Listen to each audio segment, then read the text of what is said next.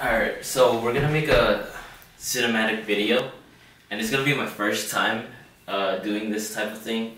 So, uh, yes, we'll see how it goes. Dude, stop doing that.